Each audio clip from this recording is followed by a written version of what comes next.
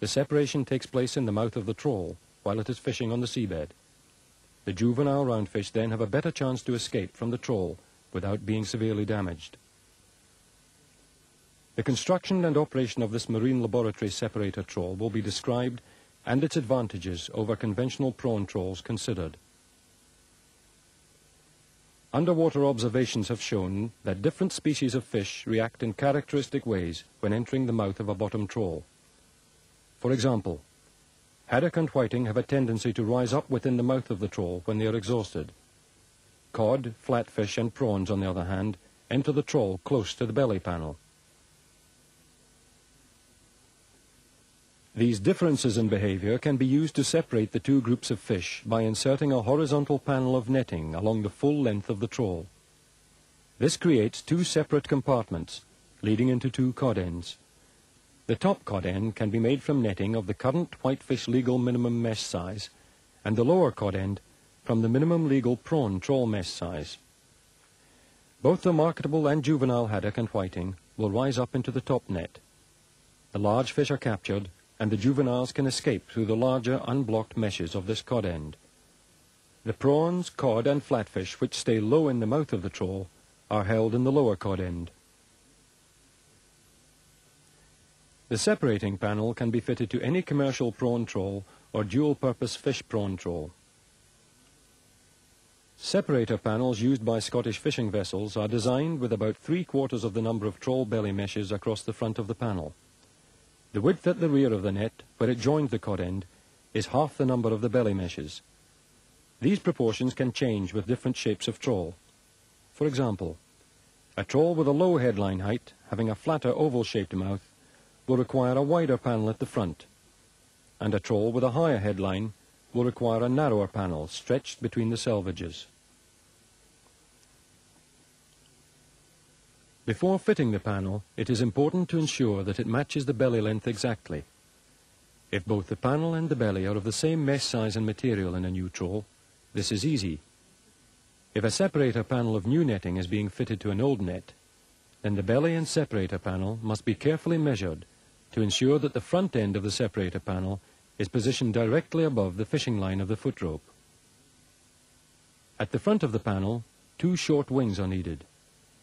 The side edges of the whole panel are joined into the trawl selvages. The aim is to have a flat, tight sheet of netting between the selvages of the trawl. Mesh size in the separator panel should be of the same size as the trawl belly to retain the prawns and to stop migration through the panel into the upper compartment. The fishing line of the separating panel is directly above the trawl foot rope and should never be more than one meter behind it. The panel should never lie in front of the foot rope because the haddock and whiting will be unable to rise quickly enough to enter the top net. One and a half meter long strops are fitted between the fishing line of the panel and the foot rope of the trawl. They should be positioned one at each end of the foot rope bosom. Fine-tuning of the strop length down to three quarters of a meter may be required to ensure the correct panel height for optimum species separation.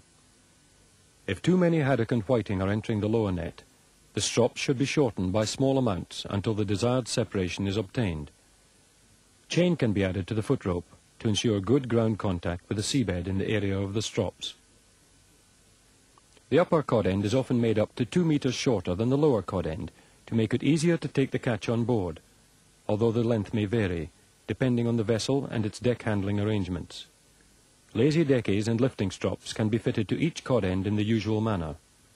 Sometimes these are not required on the top cod end. The panel is usually joined to the two cod ends in the ratio of two cod end meshes to one panel mesh. The addition of a separator panel and an extra cod end will increase the cost of a conventional trawl by about a quarter. There are positive advantages in using separator trawls. If tuned correctly, most of the haddock and whiting should enter the top and so allow the juveniles to escape through the larger cod end meshes.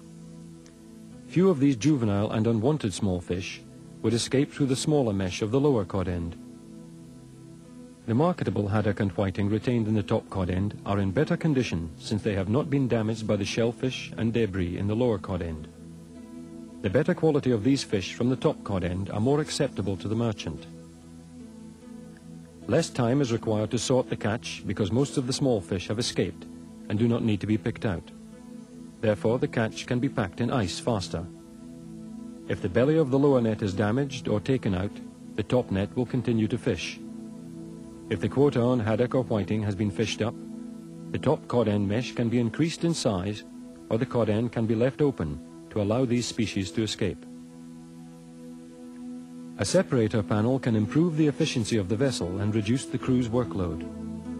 Widespread use of trawls fitted with a separator panel will reduce very substantially the discarding of small fish to the benefit of the whitefish stocks.